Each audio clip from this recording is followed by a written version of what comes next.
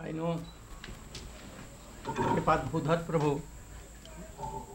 is very sincere senior Vaishnav yeah sir yeah sir so much Shri Bhakti Vedanta Swami Maharaj from his days when he started preaching in western countries. He is also a very renowned astrologer. He told me that you will preach our whole world. I could not think even that I will go to all countries, but he told that you will be able to. You will go and everywhere you can you will preach. Now I am saying that uh, oh he is astrologer. I want to make him an astrologer of Golok Vrindavan in the line of Gargacharya. you know, he was so much great astrologer in the whole world.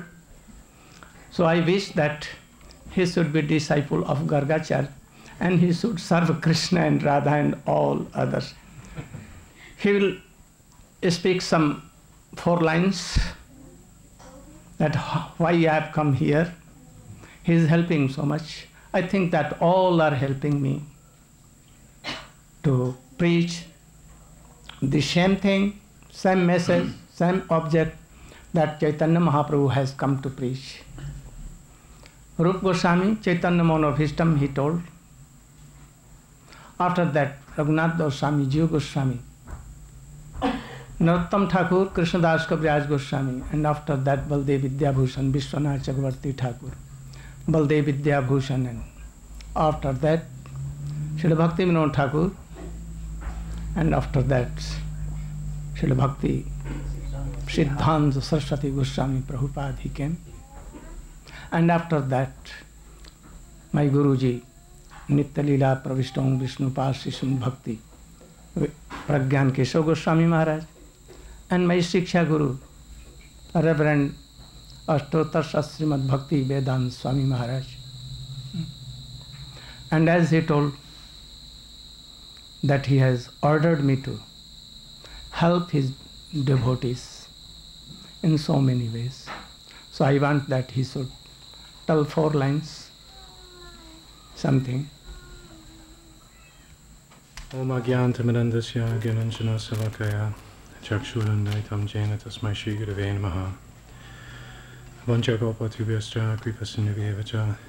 Patitanam Pavanebhyo Vaishnavebhyo Namo Namaha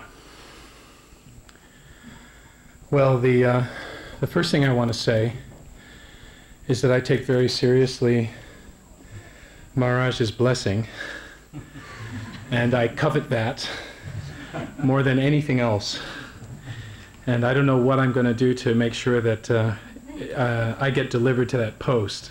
but I'll ask all of you to second his blessing so that I get there. Thank you very much, Marsh. Um, just a few words. Uh, we all are part of a fantastic, wonderful spiritual society.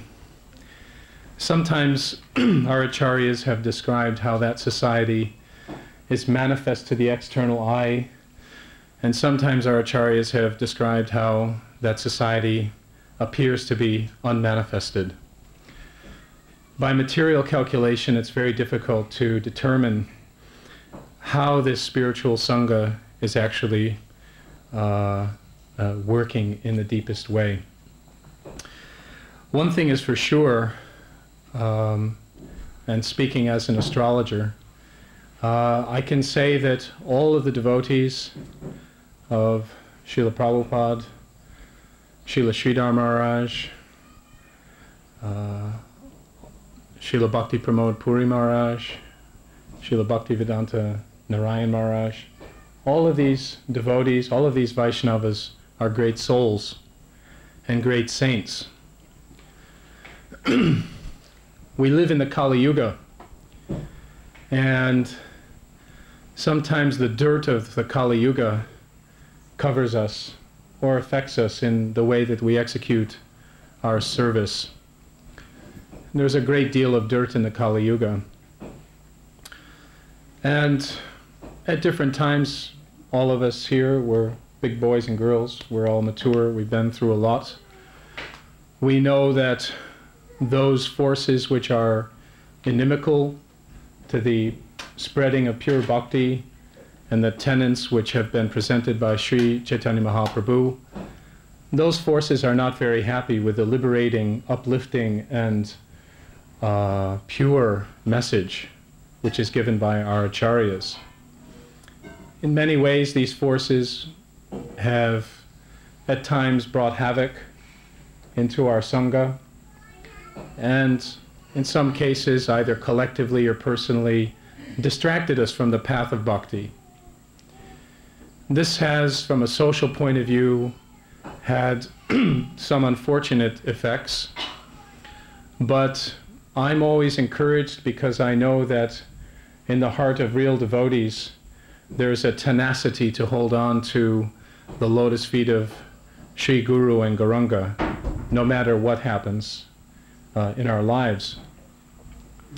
For a long time now, I have watched the astrological chart of, of ISKCON, what I call the mystical body of ISKCON, the great Sangha of Vaishnavas in the universe.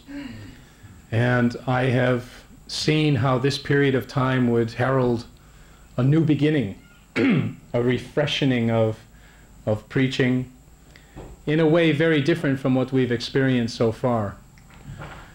And I felt that that, that Sangha would happen in a very spontaneous, natural, almost grassroots type of manner where devotees are reaching out and helping each other and helping and encouraging each other to uh, be powerful and be uh, true to the mission of Mahaprabhu and do as much as we can to serve the parampara. But um, it's a great drama. It's actually a cosmic drama. The forces that we talked about, they're the antagonists. But the protagonists are the great saints and sadhus who come just in the nick of time when all seems lost or all seems uh, uh, devastated, when we're forlorn or morose or despondent. And uh, it was with great pleasure that indeed I came across the chart of Srila Bhaktivedanta Narayan Maharaj, even in practical, practically speaking, before I, I had any association with him. And I could see that here is one of, here is one of uh, Sri Sri Radha Krishna's messengers. Here is one of the great uh, sadhus, the great associates of my beloved Gurudev Srila Prabhupada. And so I was very, very happy. And uh, I think uh, my experience in traveling with him and in associating with him and in seeing the, the magical effect of being with a sadhu who is so deeply immersed in Krishna Katha, in remembrance of Krishna, what a wonderful effect it has for the devotees. And so I uh, should say only that I'm very happy that, that you're all here. Um, I'm very happy that you've taken the steps to come and, and listen to the Hari Katha that Maharaj will present to us. And I'm truly hopeful that the sectarian feelings, um, the feelings of I and mine, um, the feelings of animosity, which sometimes exists in our dealings, that this dirt of the Kali Yuga will uh, be washed from our hearts by Maharaj's uh, association. So I wish that all for you. Thank you.